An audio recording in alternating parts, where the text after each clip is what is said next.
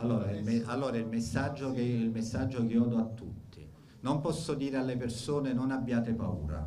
perché la paura è un sentimento irrazionale. E ognuno di noi, anche che, che conosce bene questi fenomeni, se un po' di paura ce l'ha sempre, quindi la paura è fisiologica.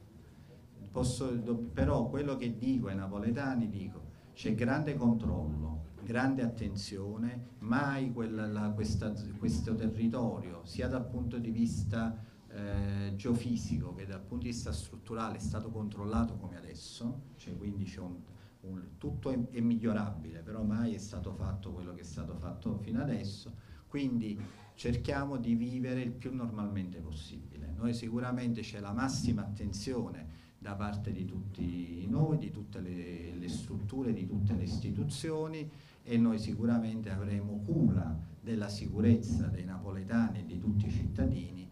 perché quella è la nostra responsabilità da amministratori ma anche da conoscitori di questo fenomeno, quindi sappiamo bene che bisogna avere cura. Quello che dico ai, al,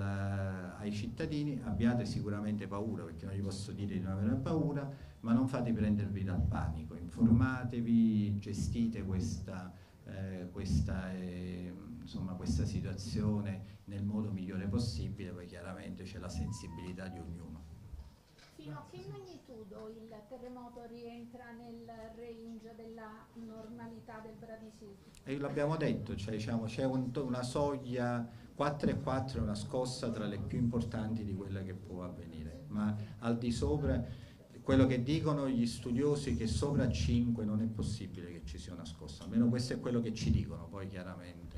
stato detto nell'assemblea nell Bagnoli. anche nell'assemblea Bagnoli è stato ribadito dalla, da Francesca Bianco che è la direttrice di tutta la sezione vulcanica dell'NGV, dal direttore dell'osservatorio vesuviano, vi potrei spiegare anche perché, però non è il caso.